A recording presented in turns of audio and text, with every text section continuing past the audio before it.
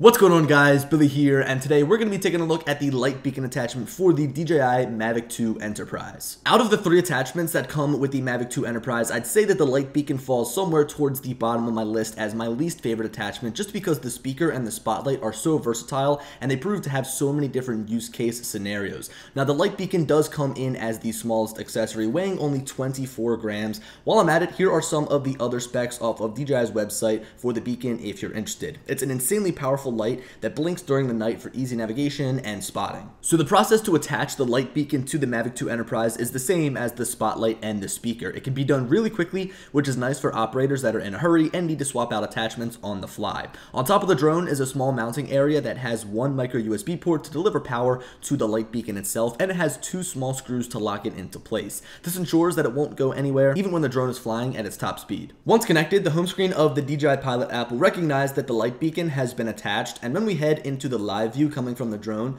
there's a small button in the top left corner marked with the beacon icon that is now visible. Tapping this will quickly activate the light, but that's about all that you can do. Now, if you guys remember the previous videos I uploaded covering the other attachments for the Mavic 2 Enterprise, the spotlight and the speaker, both of them are highly customizable. You can change the percentage of the brightness for the spotlight or the loudness of the speaker, and you can also have customizable messages to send through that speaker. But one of my biggest problems with the light beacon is that all you can do is turn it on and off. I'd love to see them give us more functions. So for example, potentially sending messages through Morse code using that beacon of light. I think that'd be awesome for people who could potentially be stranded and need to signal for help. Also, flying during the day sometimes can require some further flight. So I'd love to be able to take advantage of this light beacon during the daytime, but that bright white light against the bright white sky really does make it easy to lose track of. And after you fly probably like a couple hundred feet away, you can't really see the light anymore anymore. So I'd love to be able to actually change the color of that light to say green or red to make it a little bit more visible.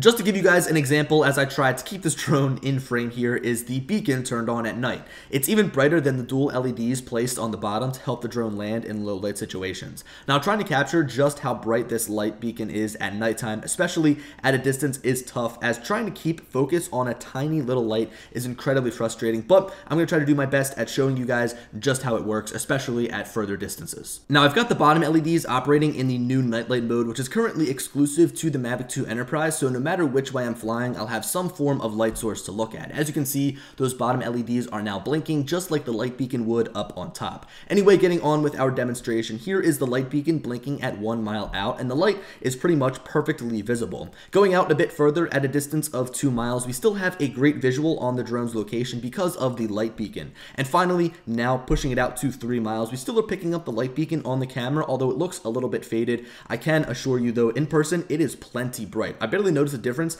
between one mile and three miles using my own eyes, although I wasn't willing to push the drone out past three miles because I didn't want it going down in the water once this testing was over. So guys, that about wraps up this video regarding the light beacon. I'm sorry that it was so short, but there's really not all that much to touch on. I mean, with the speaker and the spotlight, there was so much to cover, but the light beacon just kind of emits a beacon of light. Now, I could see this being very helpful in areas where the air traffic, I guess, is congested with a lot of helicopters and low-flying planes, and if you're flying at nighttime, having that light will definitely let them know that you're in the area, and they'll be able to see it from more than three miles away, so it's very helpful, but taking up that valuable attachment spot with, say, the light beacon, when you could put on a spotlight or a speaker kind of seems like a waste to me. So in the future, I'd love to see them, one, implement a little bit more use, I guess, out of the light beacon, like being able to send messages through Morse code, but I'd also love to see them just put it right on the drone body and not make it an actual attachment. It is so light, and I feel like if they just built it in, it could be more powerful and it could also be more helpful. Again, not taking up that valuable attachment spot on the Mavic 2 Enterprise. But guys,